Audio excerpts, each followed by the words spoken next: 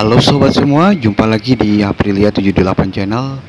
Di video kali ini kita akan melihat daftar kereta api yang berhenti di stasiun Cikarang semenjak diperlakunya GPK 2023 1 Juni 2023. Stasiun Cikarang sudah menjadi tempat pemberhentian kereta api jarak jauh. Ada kereta api apa aja yang berhenti di stasiun Cikarang?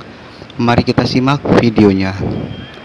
Bantu saya membangun channel ini biar semakin berkembang dengan cara like, comment, share, dan subscribe channel ini biar saya semakin semangat membuat konten-konten tentang dunia komuter lain dan kereta api di Indonesia.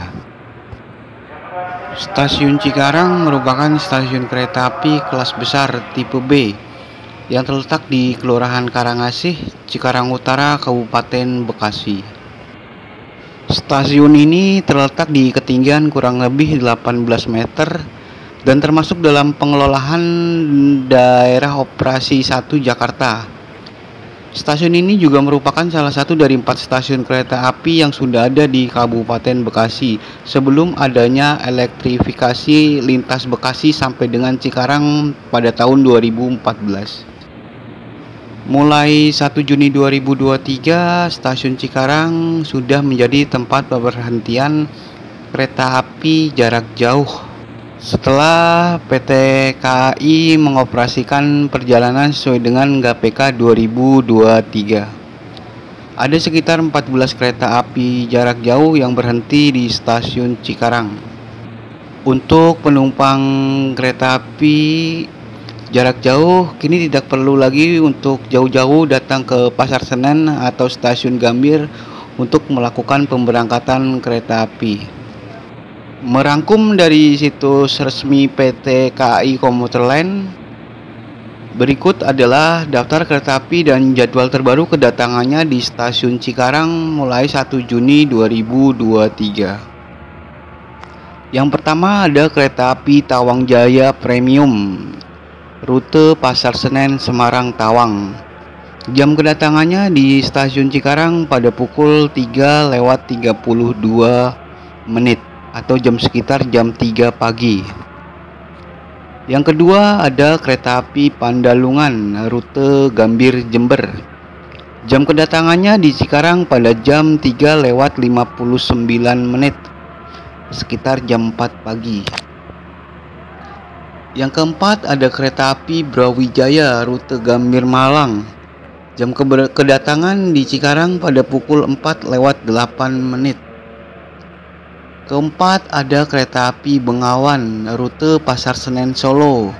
Jam kedatangannya di stasiun Cikarang jam 5 lewat 2 menit.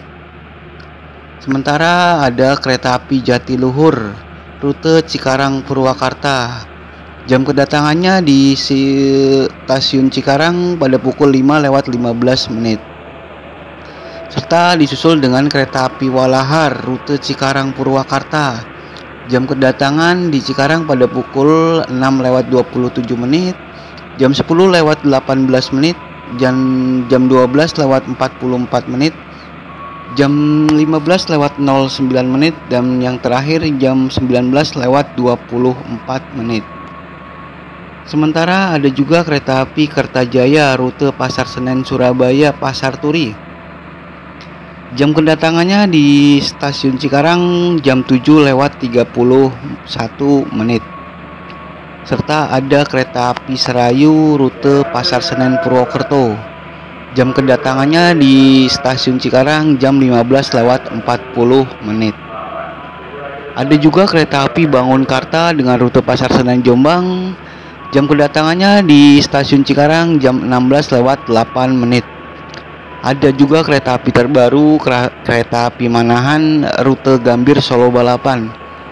Jam kedatangannya di stasiun Cikarang jam 17 lewat 17 menit. Ada kereta api Bogowonto rute Pasar Senen Lempuyangan.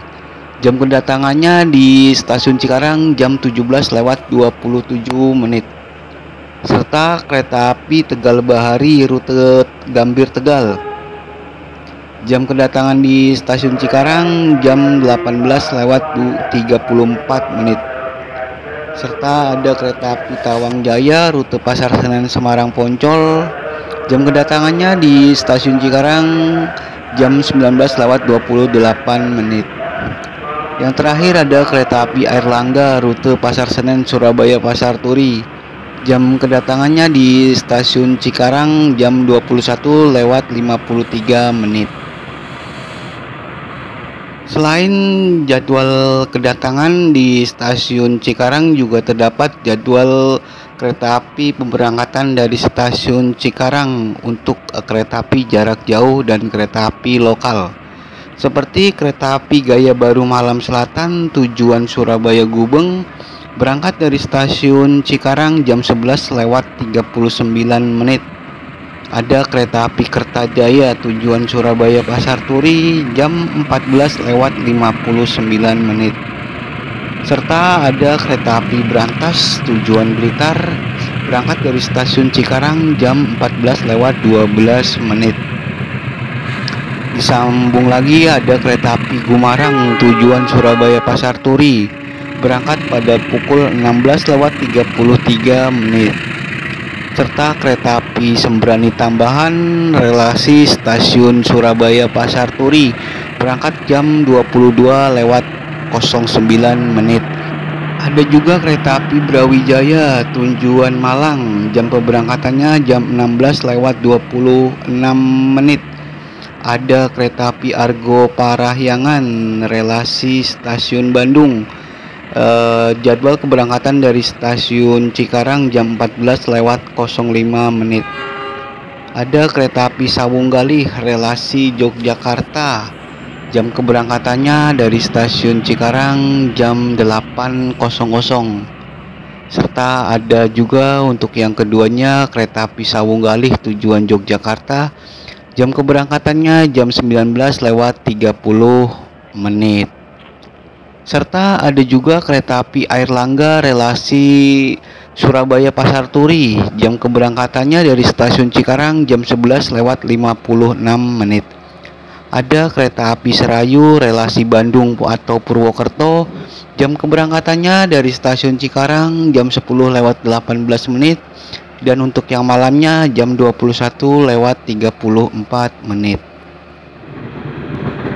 itulah tadi jadwal keberangkatan dan jadwal kedatangan kereta api jarak jauh di stasiun Cikarang sem semenjak diberlakukannya GPK 2023. Semoga informasi ini membantu buat para calon penumpang yang ingin bepergian dari stasiun Cikarang.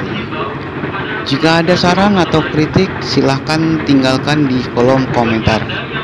Sampai jumpa di video saya selanjutnya. Bye bye.